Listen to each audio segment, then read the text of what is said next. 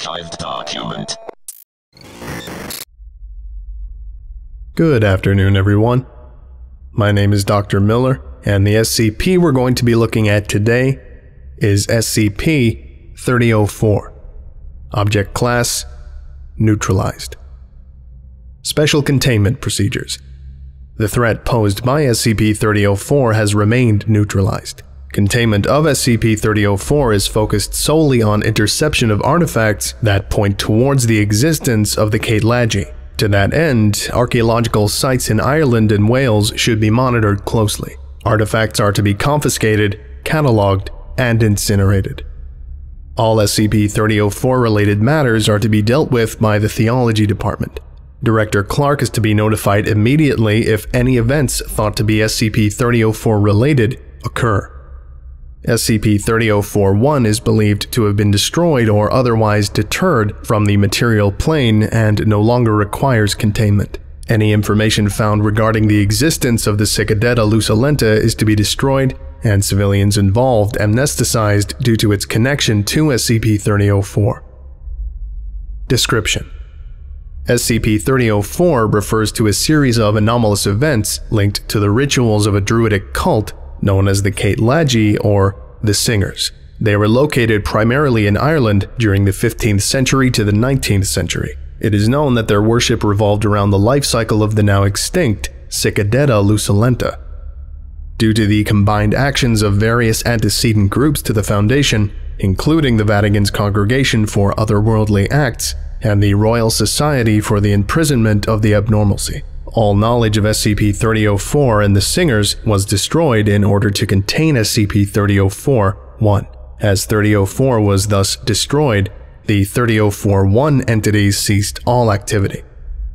SCP-3004 events centered around imagery associated with the rites of the Singers. They occurred most commonly during a celebration surrounding a child's entrance into adulthood, which was signified by the first loss of primary teeth. These events were theorized to lead to the entrance of their deity, dubbed SCP-3004-1, into local time-space. SCP-3004 events are understood to have been the result of SCP-3004-1 attempting to act upon the material world. It is unclear as to when SCP-3004-1 began to react to the beliefs of the singers.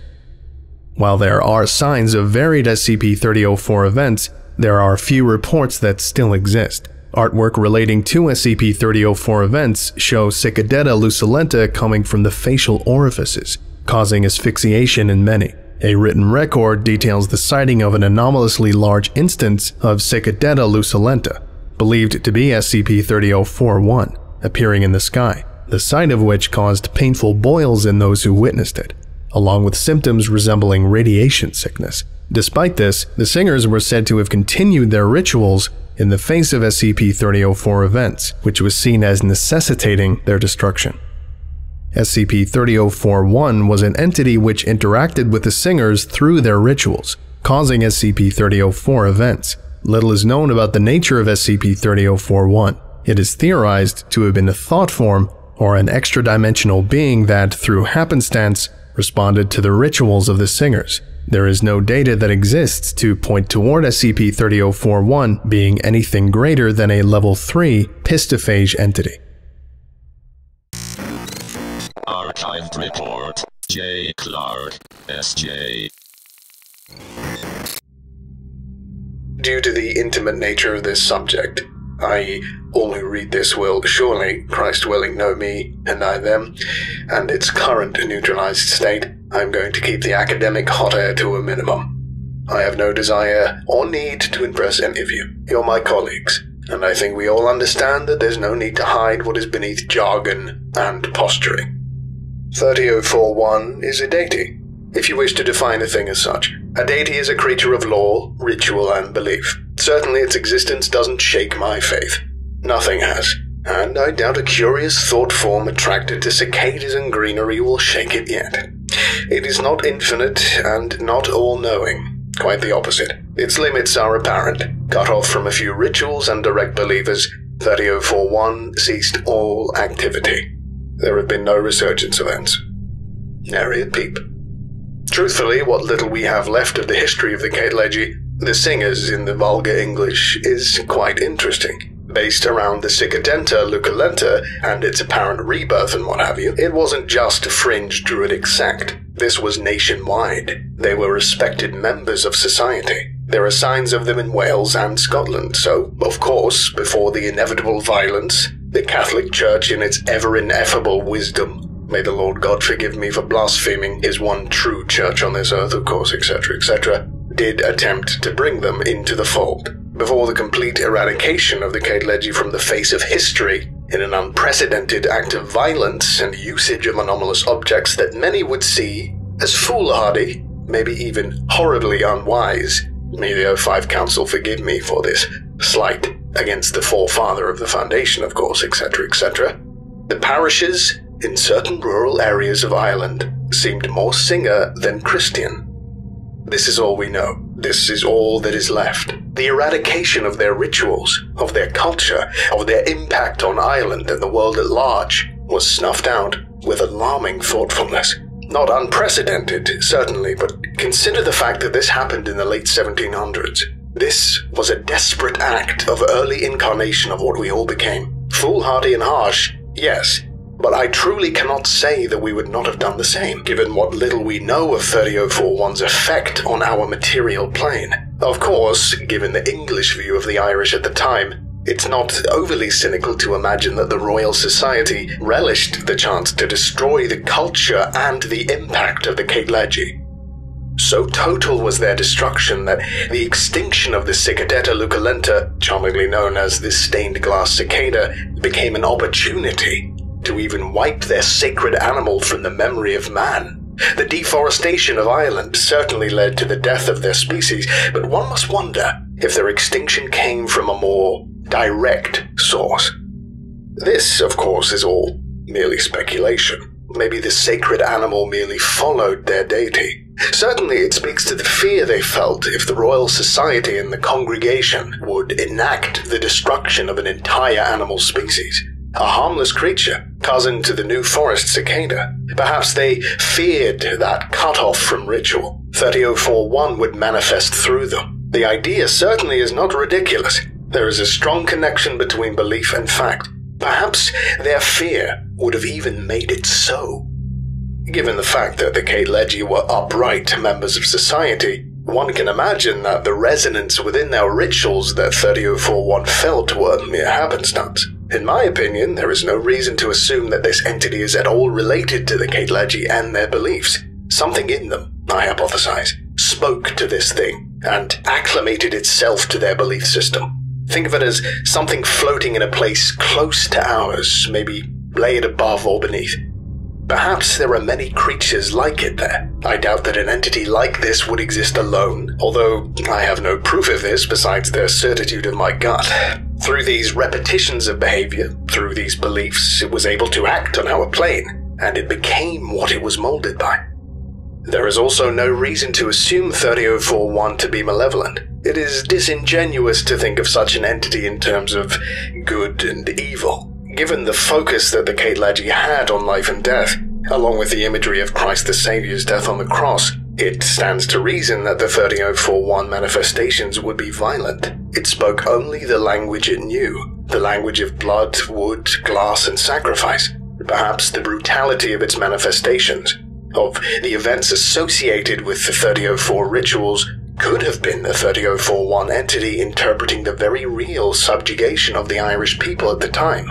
There is no reason to assume that the lives of its followers would not be just as important to the entity as their rituals. Certainly, the language of death and rebirth of the cicada, of the scourging at the pillar present in the rites of Roman Catholicism, especially in the era of its neutralization, and what is theorized to have been the rituals of the Caedlegi could have lent to all of the violence, to the harshness of it all.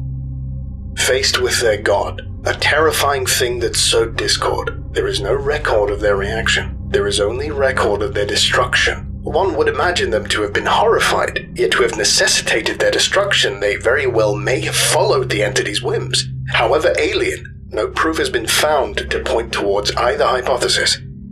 But again, this is all conjecture. We simply do not know enough to take any approach to this object other than making sure it never comes back. I do not believe that we will be unable to deal with something like this, given the current technologies available to us. But it is best not to awaken a sleeping giant, as it were. Given what we have here, I can offer no other advice. Whenever we rarely find something that our predecessors missed, we catalog it, learn what we can about what we destroyed, and move on to other things. Current document. Item number SCP-3004 Object Class Keter Special Containment Procedures all communities that could possibly support an SCP-3004 event are to be monitored for uncharacteristic rises in death rate and attendance at places of worship. If a community is shown to have been the host of an SCP-3004 event or events, all afflicted civilians are to be amnesticized. Any injuries or deaths that occur because of these events are to be given applicable cover stories. At no point is an individual known to be involved in an SCP-3004 event to be considered for Foundation employment D-Class, or otherwise. Mobile Task Force Y-99, Altar Boys, is tasked with responding to SCP-3004 events in progress where possible and stopping them by any means necessary. All sightings of SCP-3042 are to be reported to the Theology Department. Images of 3042 are to be dismissed as hoaxes or deleted as necessary. All instances of SCP-3042 found in the wild are to be destroyed to avoid future SCP-3004 events. As of Project Site-C Lux, there are to be no attempts to track SCP-3402 instances. Any attempt is to be made to destroy them before their disappearance. There is to be no further attempt at contacting SCP-3041. 3041 will be contained through cleanup of SCP-3004 events and the destruction of SCP-3042 instances. Currently, all containment is focused upon reducing the effects of SCP-3004 events, which have already occurred. If SCP-3041's entrance into the material plane is unavoidable and inevitable, Protocol Damnatio ad Bestias is to be enacted. Description SCP-3004 refers to a series of anomalous events that occur in Roman Catholic, Eastern Catholic, Anglican, and Episcopalian communities. SCP-3004 events occur without any patterns connected to population or demographics other than religion. While SCP-3004 events are varied and have few similarities to unite them, the presence of SCP-3042 at each event proves a connection. SCP-3004 events are rituals carried out by otherwise non-anomalous individuals in their place of worship. Despite showing a great divergence from Christian norms of worship, Individuals involved in an SCP-3004 event show great hesitation to stop engaging in the ritual, even those that involve self-harm. All individuals attending the place of worship for that purpose will not stop the rituals involved, even if their actions go against previously held morals. Individuals who normally exhibit entomophobia exhibit no fear of the SCP-3042 instances involved in the ritual. Deaths that occur as a result of SCP-3004 rituals will be categorized as death by natural causes, regardless of what was done to the individual. Those who witness an SCP-3004 ritual express a renewed interest in their chosen faith and seek to convince friends and family to accompany them to their place of worship. Examples of SCP-3004 rituals include the slaughter of a child bearing traditional stigmata wounds out of which crawled instances of SCP-3042. The child was killed when the officiating priest bit out the child's jugular. SCP-3042 instances crawled en masse from the wounds up to six hours after the child's death. The forcible removal of the officiating priest's teeth by 12 children. The children and the priest were then seen to vomit instances of SCP-3042. The teeth were served in the place of communion wafers later on during the Mass the violent castration of every male who has reached puberty. Scrotal tissues were gathered and disseminated amongst the faithful and worn around the neck as scapulars. The castrated individuals then mimicked the cry of an unidentified cicada, believed to be Cicadetta luculenta. Before many succumbed to blood loss, SCP 3042 instances were observed carrying off discarded testes. A visibly pregnant woman was chosen from the congregation and brought to the altar where she laid and proceeded to give birth to over 60 instances of SCP 3042 and a stillborn infant wearing a wooden crown. The crown was burnt and the body consumed. SCP 3042 instances resemble the extinct Cicadetta luculenta, albeit with a much more colorful wing pattern than what has been described. Despite appearing in every way alive, SCP-3042 instances are primarily made of wood and glass. It is unclear currently if SCP-3042 instances are the cause of SCP-3004 events or vice versa. During an SCP-3004 event, SCP-3042 instances are observed in prominent parts of the ritual. After the ritual, SCP-3402 instances exit the church and disappear after flying at least 600 meters away. This disappearance is hypothesized to be the SCP-3042 instances returning to SCP-3041, either to feed it or perhaps be given further orders. It is believed that SCP-3042 is the mechanism by which SCP-3041 collects belief or faith in order to consume. It is unclear as to why SCP-3401 in its former incarnation did not seem to require the 3042 instances. As of Project Site-C Lux, it is now known that SCP-3041 created instances of SCP-3042 as a replacement for the Cicadetta luculenta.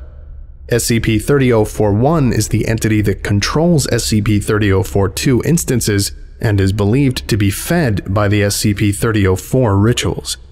SCP-3041 is a level 6 pistophage entity that exists in a dimension that exists partially within baseline reality, but primarily above it. From within this dimension, it is currently unable to directly manifest itself into the plane of existence. However, if given enough belief from the SCP-3042 instances, SCP-3041 will be able to enter the current baseline reality, which would cause an XK class end of the world scenario due to the brutality of SCP-3004 events.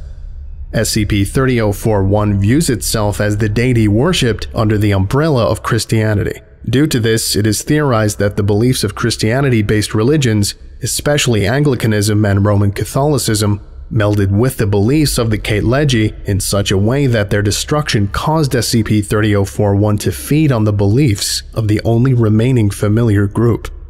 If SCP-3041 enters the baseline reality, Protocol Damnatio ad Bestias will be enacted. This will involve the usage of thaumiel objects and mass amnestics which will serve to erase Christianity from the historical record. Cut off from its food supply, this is theorized to be an act that would fully neutralize SCP-3041.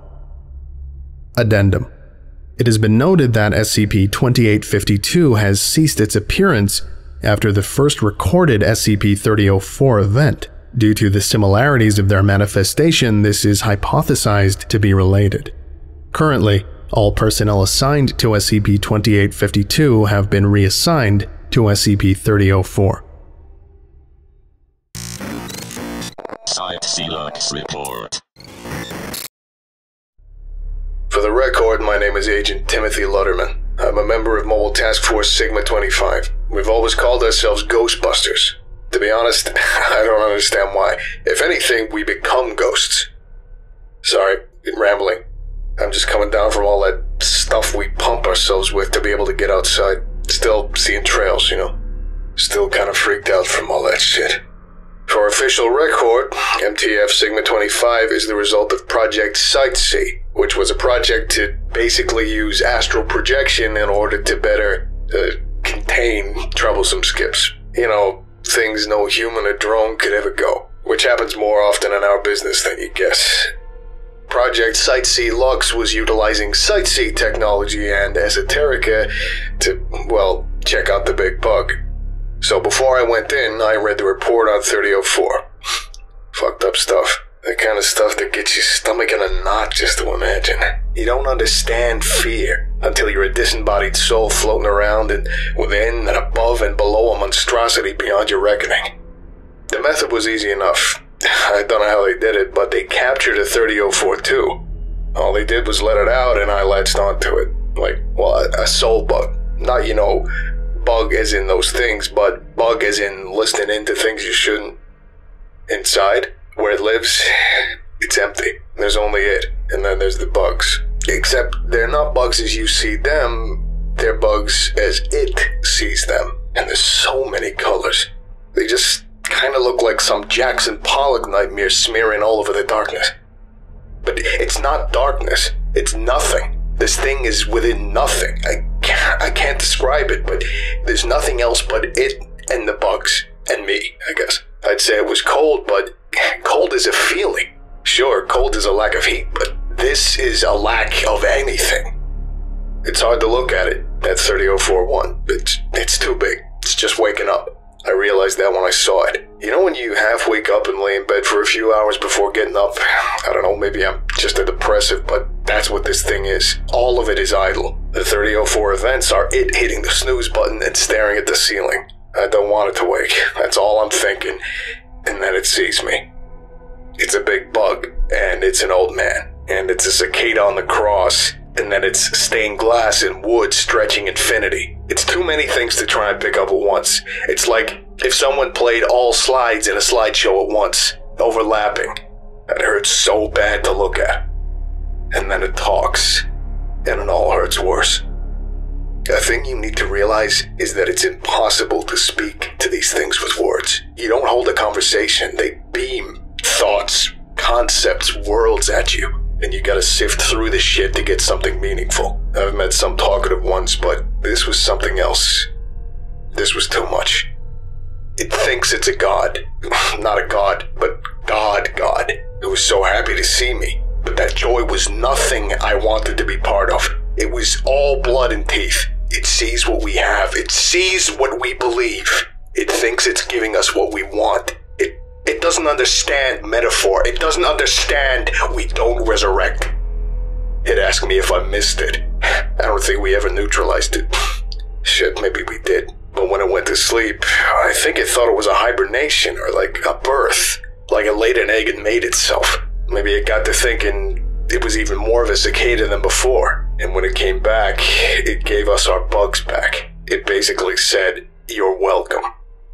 It's not exactly protocol, I guess, to talk back to these things, especially something like this, but I tried to tell it that we didn't want them, that it all hurts us. I don't think it heard it. Didn't want to hear it. I feel like it smiled, and that was when its mouth opened. It's hard to explain the sight of it.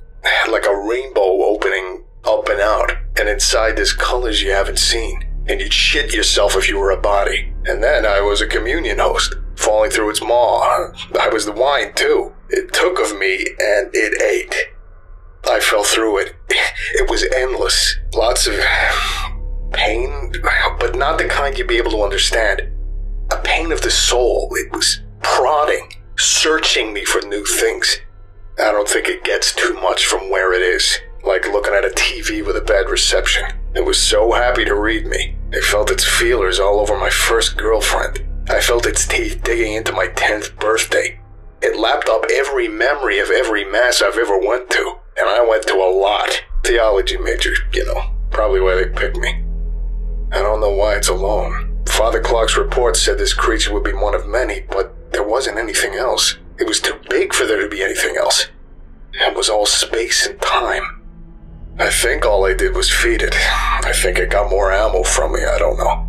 All I can say is that we shouldn't send anyone else there. You can't argue with something like that, and we know enough. Don't go back. We don't want this thing to learn any more than it has. And it has so much history already. The thing I'm most scared of? If this isn't God, I think it might become. It's confident, and, well, it's all there is. I looked, and it was all there was. Majority decision on protocol them adio ad bestures. While working on the ethics committee, I always sought to live up to the morals instilled in me through the catechisms of Roman Catholicism. And it is a very hard thing to be a Roman Catholic in the foundation and outside. This isn't due to any complicated tenets, nor harshness. It is trying to believe in something you know has caused undue harm. It gnaws at you. Protocol Damnatio ad Bestias then will allow for a cleaner slate. Judaism will remain untouched. Islam will only lose one of its prophets, nothing too damning. But Christianity and all it has done, all it has caused, will be gone. I don't relish this. I wish it could be any other way. But the 3004 events are becoming more common. The big bug sticks its head through the topsoil and we all cut it out at the root. It's impossible to say for certain what will happen. We don't know if we'll be undone or if there will simply be a deletion. We don't know if something will fill the void or if there will be a world with a great gap. Even then, it's better than the world that will come into being if we stay. The cicada god is coming, and it doesn't know the difference between life and death. Metaphor and smile don't translate well where it is. Part of me relishes what we're doing to it in a kind of petty way. There is a non zero chance that that thing devoured my lord. Of course, if the Lord God could be devoured, he would not be my Lord and God, but still, the humanity in me cries out for the blood of that which killed him. We will starve it. The preliminary tests have been concluded. Protocol Damnatio ad Bestias will be enacted as soon as possible. And to stave off this devourer of God, we will throw one of our own to the lions, to be torn asunder, and to tear asunder, to be damned and to damn, to act as a perpetual lock on humanity, to stave off all belief even close to what a cicada can eat. To use less poetic terms, a suitable candidate has been contacted. A Roman Catholic reality bender. Ethics would not allow us to put someone into this situation without their choice, without their understanding of what will happen to them. And he took the mantle. They say the lions are beautiful. Twelve machines, each at the peak of techno eschatology. And they really do look hungry and prone. Black carbon and shining metal with lights that are prismatic, no colors that dazzle and he will go in between them. They will open his brain, his mind. All Christianity, all that he knows and doesn't, will be obliterated. The Lord God sent Jesus Christ, his only Son, to suffer and die on the cross, and we, the Foundation, will throw one of our own to the lions for all eternity to undo all Christ died for. An eternity of suffering to erase a sacrifice. It isn't a fair price, but nothing is. The Holy Father, as you may know, recently allowed for another road to sainthood. This is, of course, dying to save others. This isn't martyrdom, which is merely dying for the faith, but this is eternally dying for all of humanity. All that the river will be and has been. This will be the last and greatest saint of Christianity, and he will not be remembered. Before the eternal lions feed upon him, remember for as long as you can the eternal life of St. Jude the Damned. Bulwark against the darkness. Hopefully, this next world will be better. Forgive me. If this is a sin, I will burn along with the last saint. Brendan Callahan, Child of God.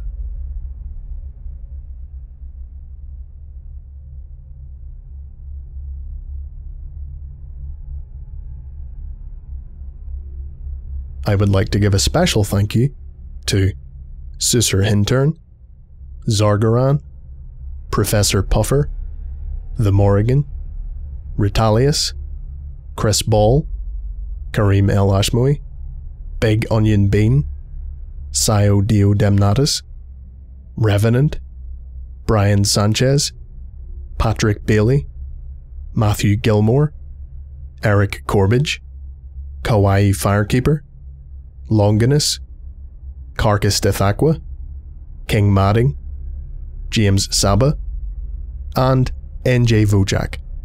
If you would like a special thank you at the end of each of my videos, and some other cool stuff as well, visit patreon.com forward slash the Volgun. Thank you.